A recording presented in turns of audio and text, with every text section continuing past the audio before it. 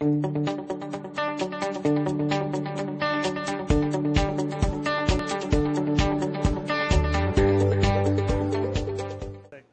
continuing all things French the month of July with Escoffier techniques and methods. So one of the things that Escoffier was known for was, of course, bringing green asparagus to, uh, well, bringing the white French asparagus and making the farmers in France, in Grenoble, other parts of France, cover and uncover the asparagus to make it green. The British liked green asparagus, the French liked the white. So Auguste Escoffier and asparagus go back a while where he uh, actually incited the farmers to uncover their asperge blanc, white asparagus, so that the sunlight can cause that wonderful reaction, or the chemical reaction is, so that chlorophyll is formed and the asparagus turns green through sunlight.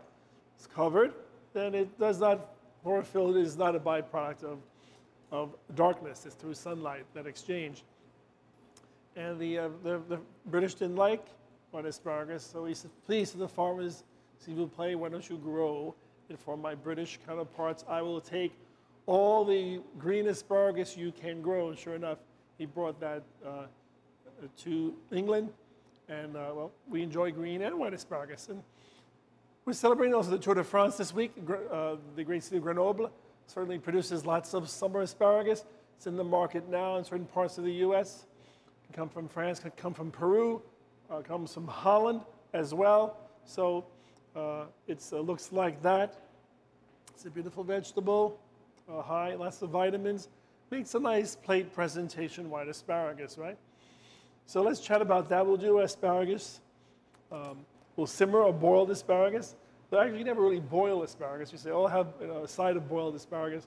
Actually, simmer, because if you boil it, the fronds tend to fall off. You don't want that to happen.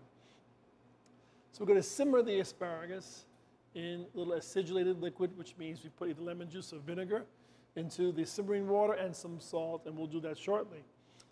We're going to serve it with a sauce Maltese, as in the Maltese Falcon, sauce of Maltaise on the island of Malta, uh, way south of Sicily, there in the Mediterranean Sea, uh, island of Malta, um, ruled by the Moors as they traveled across North Africa in the 7th, 8th century on the way to Spain brought citrus fruits with them from the Mideast. So citrus fruits originated in the Mideast, as many a lot of tropical fruits did, brought across North Africa, finally made it to those islands. Sicily uses oranges, oranges in all their preparations. The Algerians and Moroccans preserve lemons. And uh, in Spain, of course, where the Moors were there until the 15th century, this famous Sevilla orange. And of course, the, the various lemons grapefruit, uh, popular then brought to the New World by the Columbian Exchange in the 15th century. So a lot of fun things in the Mediterranean, a lot of great food. Talk about fusion cuisine. Uh, every country is fused the cuisine of some country. So uh, there's no standalone cuisine uh, as far as we can tell. There's a blend around the world, right? So we'll make a hollandaise sauce, which is the basis of a sauce maltaise. So it's a classic, one of the five Mother Sauces, codified by Auguste Escoffier, of course, in his landmark book, Le Guide Culinaire, the Culinary Guide. What are the five mother sauces? Bechamel, Espagnole, tomato, Hollandaise, and velouté. Holland, Hollandaise, eggs, melted butter, butter-bound sauce. We'll prepare that from scratch today, and we'll finish off those ingredients to make it sauce maltaise. So it's very exciting and very interesting. And finally, we'll have a nice white wine to go with that the biggest challenge always is how to match up wine with asparagus and artichokes. We'll discuss that later on in our session. So feel free to chime in, type, chat. We read the questions out loud. I repeat them, answer your questions. We're happy to chat with you and expand your knowledge in our community of cooks. So nice to have you here today. So with my white asparagus, when you buy them in the store, be mindful sometimes the the tops are broken off. So look to see that. That's where the tops are broken off or missing. That'll happen. It seems that the white asparagus can be, uh, I guess it stales or breaks off easier than the green asparagus. Has to be this structure since it's a white now a white vegetable. As you know, a white vegetable or red vegetables, right? Cauliflower, white asparagus, red beets, red cabbage. All those vegetables benefit from being cooked covered, right? And maybe you know why that is, that you think about why that is. And why don't we cover green vegetables? So the question is, why would we cover white vegetables when they're simmering? And what do we add to the liquid? And what does that do to the color of the vegetable? Conversely, with green vegetables, do we cover green vegetables when we cook them? And do we add anything to that liquid as well? So, a few things to think about while out there watching and enjoying our show today. So, I peeled them. It seems that the asperge blanc or the white asparagus, as it cooks, the stalks get a bit stringy, so be sure to peel them. With the green asparagus, sometimes we just cut the fronds off. Of course, the thicker the asparagus, the more flavor they have. As they get thinner and thinner, they have less flavor because they're immature. So asparagus are grown, when asparagus are grown without the advent of sunlight. So they're covered with dirt, so you need to wash them. Then you want to peel them, right? So we'll peel them. And I want you to know that we want to line up all the tips so they look the same. And want you know that next week we'll be doing all the summer vegetables, not all as many as we can do in half an hour. We'll be doing asparagus, um, escoffier techniques, summer vegetables. So join us for that next week. Can we not use the white asparagus without peeling, Chef? Someone can, can you use, someone asked, can we not peel the white asparagus? You sure cannot peel it if you so choose not to. It tends to be just a little, a little chewy, a little cellulose, a little tougher if you don't peel them. But be mindful that when you do peel them, be careful. Both peeled green and peeled white asparagus cook much faster, so be mindful of that. Very important. So I lined them up, the tips lined up, cut off the bottom. What do I do the bottoms of the asparagus? Keep them for soup, right? Then I'm going to tie them up in a bunch. I have my water boiling. I'm going to just take a look and see how it's doing. I'm back, so I'm going to tie up my asparagus. So a little twine. Get a few runs around the side. Then you'll want to tie it. And keep it tight, relatively tight. So tighten that up. Have the water boiling make a knot in there, and then we'll be able to drop this into our boiling water. That's secure, it's secure. So have enough so that you can retrieve it uh, after it's in the water. So that's our white asparagus. Uh, you need a butcher twine. We'll go over to the stove and we'll cook the asparagus now. So here we're over at the stove, some boiling water. I want to put some salt. I have about a gallon of water. I want to put about a tablespoon of salt. The reason for that is in any vegetable, there is natural sodium in vegetable. Some leafy vegetables have natural sodium. Some green vegetables have natural sodium. White vegetables have natural sodium. You don't want to simmer or boil that vegetable in unsalted water because then the water will pull out whatever sodium is in the vegetable. So by adding salt to the water, there's like that, you know, there's no, no osmosis. It's like pulling out the wonderful flavor and all the sodiums out of the vegetable. And it does do that when it cooks, but there's water, there's salt in the water, so it reintroduces the salt to the vegetable itself. So you have a good tasting vegetable. So don't cook vegetables in unsalted water. Of course, unless you have a health reason not to use salt. I'm going to add some nice white wine vinegar You just happen to have some nice quality white wine vinegar. I'm going to put about a tablespoon of that. I'll want a, a cover for that. Has anyone guessed why we cover white vegetables or red vegetables? So let you think about that. I'm going to tell you yet, let you think about that. And why we don't cover green vegetables. What do we add in the water to keep the white or red vegetables their brilliant color? So think about that. I know there's somebody out there, so you'll have to help me, right? It's like uh, we want to have all this, as much um, input as we can get, right, back and forth. So that's on the back burner. On a simmer, I'm going to cover that so it does simmer. So we cover white vegetables. Why? So you, you can fill in the rest of that.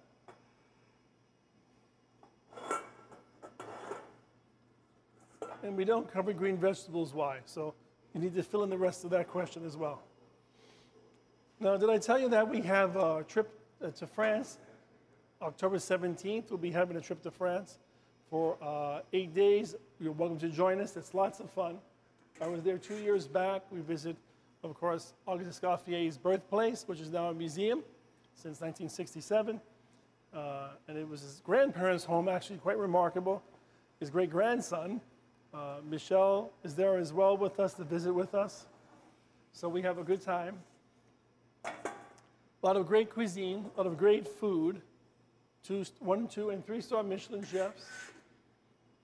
And we have um, visits to perfumeries, uh, haute couture visit. There's a viticultural um, experience at a, at a winery. There's a question, just speak it out while I'm talking. So they don't oxidize. So someone said, so they don't oxidize. So, so what doesn't oxidize?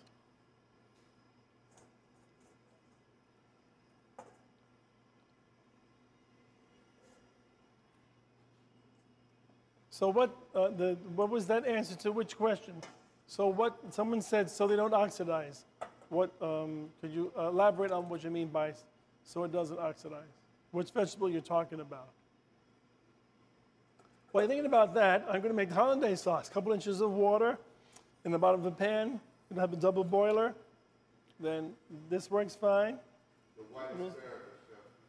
So someone said we cover white vegetables so that the, the acid and gases stay in and the vinegar increases and maintains the white color of the vegetable. So cauliflower, right?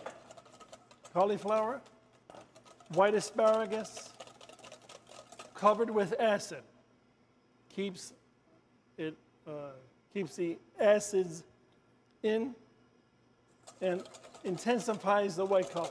It's a good answer. With green vegetables, if the converse is true, right? If you covered green vegetables, what would happen? I'll let you think about that while I'm whisking up my hollandaise. So if we covered green vegetables, what would happen? So hollandaise four egg yolks, tablespoon of cold water over a double boiler. Don't cover the green vegetables. Provide calcium. You don't cover the green vegetables because if you covered them, the acids would not escape and they would turn gray, right? I remember my Irish grandmother, God rest her soul, couldn't cook to save herself. She would buy canned green beans and dump out the water from the can, put tap water, and she'd cover them and she cooked them on the stove. And I would reluctantly have to go dinner up there when I was a youngster, and they were quite horrible. I was only seven years old and knew something tasted bad. So because she covered them, you don't cover green vegetables because they discolor them, they turn green. So thanks for that answer. so white vegetables you always cover uh, with an acid, lemon juice, vinegar. Uh, any white vegetable, green vegetable, the reverse is true. No acid, uncovered. Right, that's great. And you want them to simmer, so that's simmering nicely. We're checking them out. I can feel they're still, they're still firm. So I have this on very low so I can whisk and chat at the same time.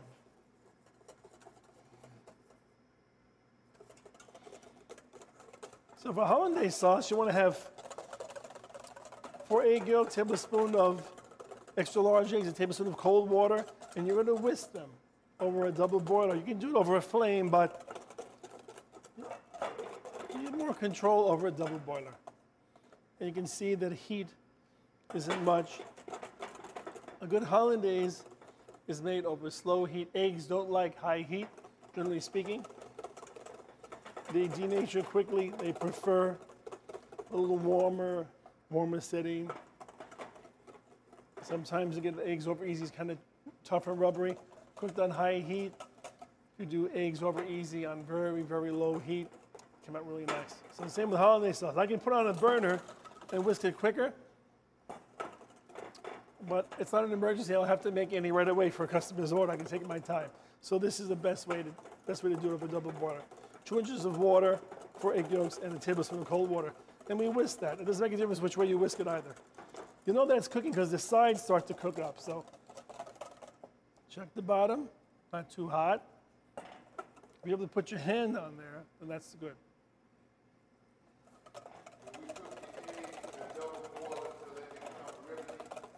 So someone said, Do you, would you cook the eggs in a double boiler until they became ribbony? You're absolutely correct.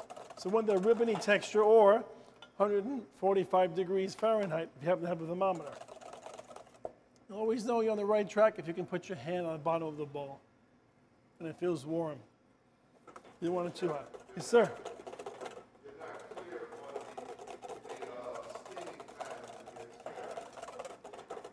The, the, uh, this, the, I'm sorry, repeat that question.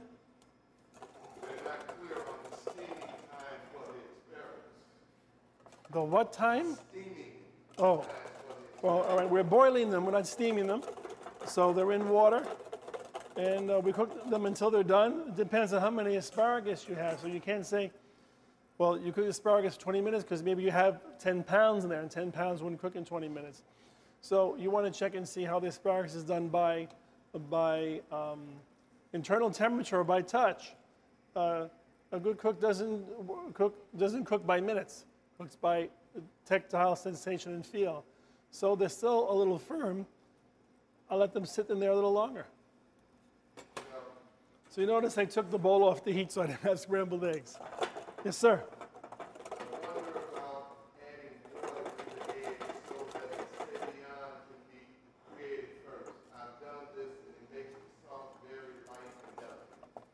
Exactly right. That's what this is. It's a zabayon. It's one tablespoon of cold water and four egg yolks. This is the zabayon stage, and you picked it up correctly. So we, some folks have good culinary knowledge. That's wonderful. That's a culinary term. Uh, is what this is exactly. If I had a marsala wine to it, I could put over strawberries and some rum. I could serve it over some uh, blueberries or blackberries. So yes, this is a zabayon, and it's cooked to a ribbony stage. So how's the bottom? Is it not too hot? So yeah, so you want to, that's very great observation. This is a Zabayon. Uh, if I would add sugar to that um, and serve it on uh, fresh fruit, fresh fruit Zabayon. So see how nice, that's nice and soft. That's cooking very nicely. Let's take that off. Let it sit there for a moment. Let's check back our white asparagus, see how they're doing back there. So I'm going to ask uh, Dennis to get me some ice, if he doesn't mind.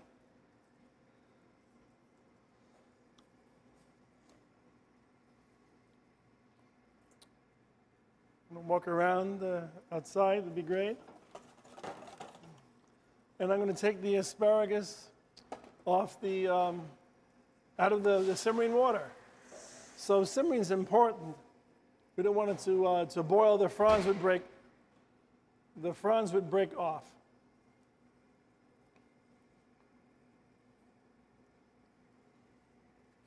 Thanks, Dennis.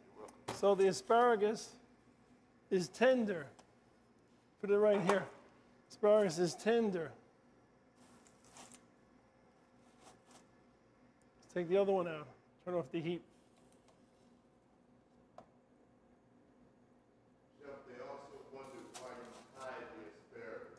Apparently not, but it seemed that it could result in uneven cooking, no? Uh, we, we always tie asparagus when we cook them so that uh, you're not retrieving and break and trying to you know scoop out like goldfish. Uh, they're all in different pieces, they're going to break and get limp and break up. So we always tie our asparagus in bundles where they can be retrieved properly. And uh, when the ice melts, they're trying to fish all these little asparagus fingers out of the water. Come as one packet. And then also for a la carte service, at the club I worked at, we lift them out, put them back into the water to reheat them, because it's a la carte. We did them ahead of time.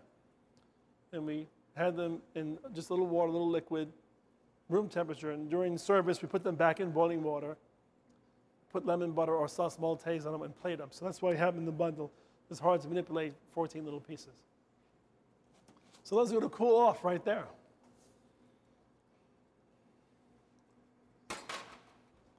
Go back to our hollandaise sauce. So it's still looking good, right? So that's the key. If you added a little simple syrup to that, important to a added marsala wine, a little simple syrup to that. Important to a glass, refrigerated that, that'd be zabaglione, Italian egg custard. So a lot of uses for, for that. So get the heat back up and let that cook. So that's nice. As someone said, yeah, you want that nice ribbon stage. You want it thick. You don't want it scrambled. You want any little pieces. I say that's ready. I say we dump out the water. Turn off the heat here. Asparagus is cooling, which is nice. Let's just let this cool off a little bit. This is a place for me to now strain my butter, to drizzle my butter. What is the sure sign that the asparagus are cooked before you them, Uh, what's the sure sign the asparagus are cooked before we serve them? Blanch them, they said. Put them on ice. So here's your here's your um, cooked asparagus. See, it's it's it's flexible, but it's pliable. See, it, it was raw, it would snap, but it still has a little toothsomeness to it. It has a little crunch to it. Mm, very nice.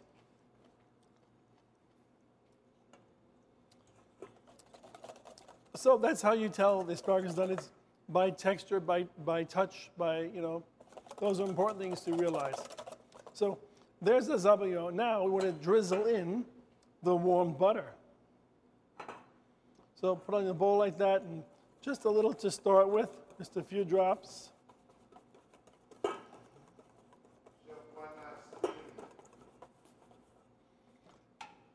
it? Uh, can you elaborate on that question, please, sir? Someone asked why you just don't steam the asparagus. Well, well, I do with the restaurant version. Is really don't. Well, I guess you could steam it, but yeah, why not? Sure, you could steam it. Um, no reason why you can't. I don't have a tabletop steamer, so that's why I boiled them. but in restaurants, we have the big steamer, the the, the uh, uh, Dennis, give me that perforated uh, steamer pan if you don't mind us over there. The, the 200 pan is perforated. I'll show you a steamer pan. It's over there. It's a 200 pan. It's perforated. So that's a two-inch pan. It's perforated, and that's a steamer pan. And we can lay um, vegetables in there. So here's a steamer pan for food service, right? You lay your asparagus in there in bundles. I guess you could. The bottom ones would get flat. You have to have a big steamer for that. You have to be steam up a lot of vegetables for food service. You can. Or the asparagus steamers that you buy in the store, those are great to have, right? So you can definitely steam it. So we whisk that butter in. So a few drops at a time.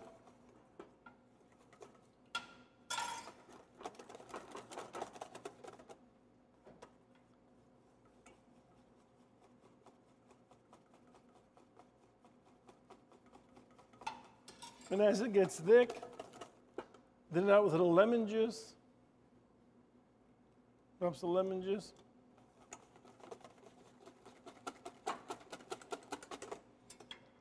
You want to put about uh, three sticks of butter, which will give you about a cup, about a cup of uh, melted butter. You can do melted butter, you can do clarified butter. Uh, uh what I did was melted, I melted the butter until it separated, remove all the foam from the top, of the melted butter itself. And then I make sure I don't lift up the milk impurities on the bottom. So here's my melted butter, right? I- so I melted the butter. The bottom had the impurities, which I don't want to dig up. And I took the foam off the top. So I just want to, to, to, to whisk that. And certainly you can put this in a little, little cup, the entire cup of clarified butter, but you want to keep it warm. So if you put the clarified butter in a cup measure, it may cool off while you're waiting to put it. Yes, Dennis? Uh, you kind of answered, they asked, what happens if you add the butter too fast? Yeah, uh, right. I- As, as I mentioned earlier, a few drops at a time to start the emulsion. If you add the butter too fast, you're going to see it oversaturate and it won't be adhered or emul- it won't emulsify. If you add the butter too fast, because not able to, to mechanically beat and make the oil emulsion, because you have two immiscible liquids, you have, which means two liquids that wouldn't normally be mixed together. You have to mechanically beat it together. So if you add too much oil, the oil it'll start to um, the oil will just beat on top and it won't look too good. you won't have a won't have a very nice um, hollandaise sauce. So a few drops at a time is important. And also I've done this in a blender too, which is really great. That works just as well in a blender. So we almost have a cup of clarified butter or melted butter in there. And what I've used is uh, unsalted butter, because unsalted butter is, well, without a preservative, and unsalted butter is sweet and it's fresher. So that's why always use unsalted butter. So our hollandaise sauce is getting thick now. Let's finish off with just a little more lemon juice to thin it out. The classic hollandaise sauce, as a Escoffier made, always had lemon juice. So it's nice mixture. I think it calls for two tablespoons of lemon juice. If it gets too thick, keep this in a thermos. It keeps well in an air pot or in a thermos. Surprisingly enough, the best way to store a hollandaise sauce is in a thermos. And um, you can put it over, over, you can put it like in a double double boiler to keep it warm. So you can do that as well. Can you reuse the hollandaise sauce for the next day? Someone asked, can we reuse the hollandaise sauce for the next day? You sure can. If you refrigerate it, then you heat it, and then you take two more egg yolks and you, you whisk them with the water, as I mentioned, making your nice zabayon. And then you um, beat in the melted, uh, then it will be broken hollandaise sauce because you refrigerated it. The fats will separate from the dairy product. So, um? Well, it's butter. It'll stay refrigerated forever. The, um, the idea is that you want to uh, keep the hollandaise sauce for the next day. Actually, have to redo it all over again. But you can use this refrigerated base. You should have to melt it. Take two more egg yolks. Start that with water. Start your zabayon, and then slowly drizzle in the formerly refrigerated, now broken, now reheated hollandaise sauce. Hopefully, you got that. so. So now we have that sauce Maltese, blood orange juice and blood orange zest. Uh, a little cayenne pepper added to that. I'm going to plate it up now. So those are great questions. We love those questions. Every, those, everyone you ask is the question someone else is thinking about and maybe didn't want to ask, but with the anonymity of the chat room, so you can ask away. What were the last spices that you just had? Someone asked, what were the last spices I had? That's a good question. Hollandaise sauce doesn't have Tabasco sauce or hot sauce. Hollandaise sauce has cayenne pepper. And that's what's finished with. Nothing, no Tabasco sauce. Lemon juice, cayenne pepper, and it may need salt. So sauce Maltese, a small sauce from the mother sauce of Hollandaise. So now we have our nice hot asparagus. There's, they're steaming beautifully here. See that?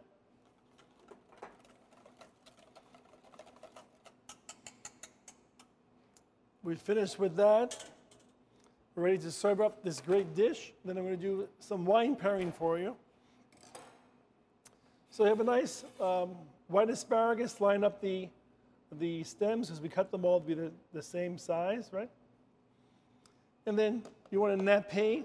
What's the nappe of this sauce maltaise? Nappe, another French culinary term. How does it coat? Is it thin, medium, or thick? This is a thin nappe or thin coat. That way we know you then coat the vegetable as we see fit. So this is really a very nice preparation.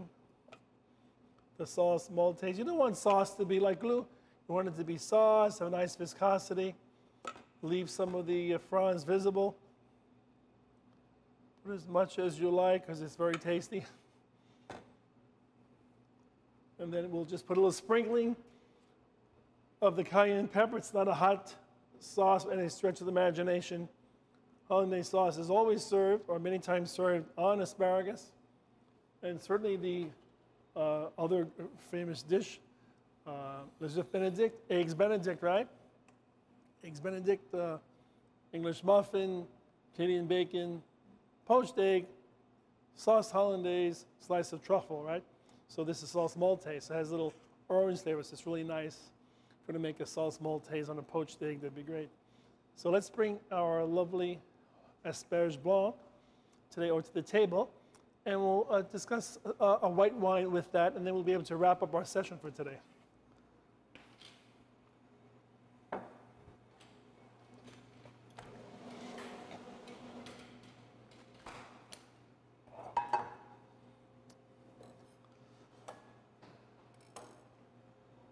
We have are some wines today. We have these cupcake. I was going to say Cakebread because that's the well-known Napa Valley bread, but this is cupcake. It's from Lodi, Central Coast. Lodi down to uh, Bakersfield is the great Central Valley. So this is a Central Valley wine cupcake. They do um, what looks like a fumé called Angel Fumé. So it's a Chardonnay, no doubt. And I, I think this would be a nice combination with the asparagus. Keep in mind, asparagus, like artichokes, are very hard to pair wine with by themselves. As anyone who consumes a lot of vegetables or greens, as a rule, it's a challenge to, to pair up wines with, with meals that are predominantly vegetable or grain. Because the fat that they lack makes it a challenge for the wines to, to come through. So when you're consuming, um, let's say a ratatouille, a vegetable dish, uh, it has garlic, it has tomatoes. The Pinot Noir works well with that. But sometimes if you have a green, you're making a quinoa pilaf or amaranth,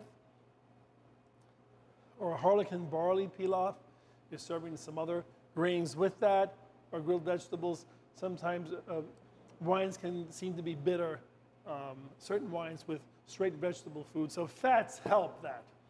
Fats help break down and let you let it be palatable.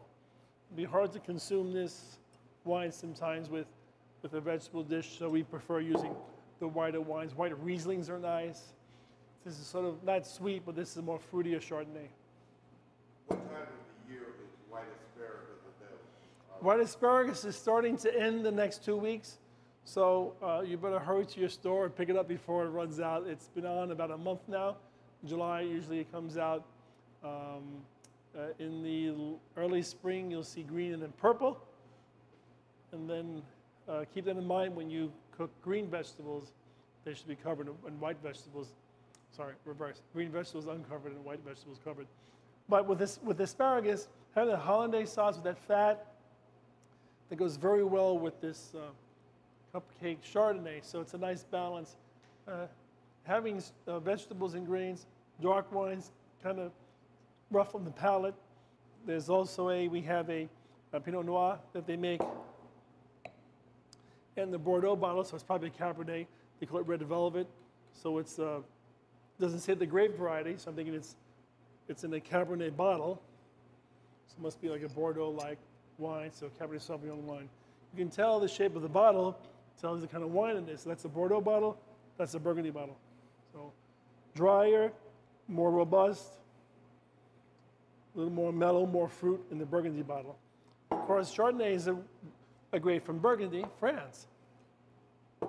So uh, chilled, 55 degrees is best for uh, certain wines. Your better quality wines, not as cold, uh, 60 degrees. Sometimes the less expensive, the colder it needs to be for various reasons.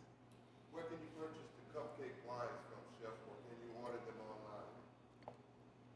Well, there's a website on here, uh, Laser La Manger La Gâteau, which means let them eat cake. But actually, the, it says cup, cupcakevineyards.com. Thank you. I didn't have my glasses on. Somehow I read that. So cupcakevineyards.com. Uh, certain states allow shipping by mail, right? And some states do not. So it depends your locality. But it's a nice combination when you look at the, the nice um, grapefruit color. Grapefruit color of this, uh, of this white wine. Hopefully a clean white towel. You see the nice color of the, uh, wine itself. It's a, a light grapefruit color. Actually has a nice grapefruit nose to it.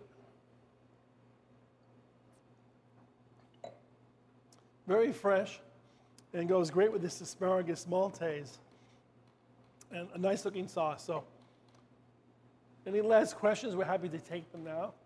And uh, as we wrap up today's session, keep in mind next week we'll be doing Escoffier Techniques Summer Vegetables, and the week after that will be Escoffier Techniques uh, Beef, then we'll do veal, pork, fish, chicken, and on and on. All the great Escoffier techniques that you'd like to learn here at our, our show each week. What would be a good green garnish for the asparagus? So, someone to know what would be a good green garnish for the asparagus? You don't want something no one eats. No one eats parsley or, or mint or watercress would be nice on here. That'd work well. Or I would put um, the microgreens or frisee. That's a great suggestion. Frisee would be nice, or microgreens are beautiful. Avoid parsley.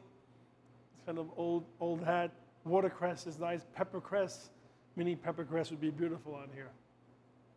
So I'm going to wish you bon appetit. Thanks for joining us, and we'll see you next time. Um, have a great day and happy cooking. Bye bye.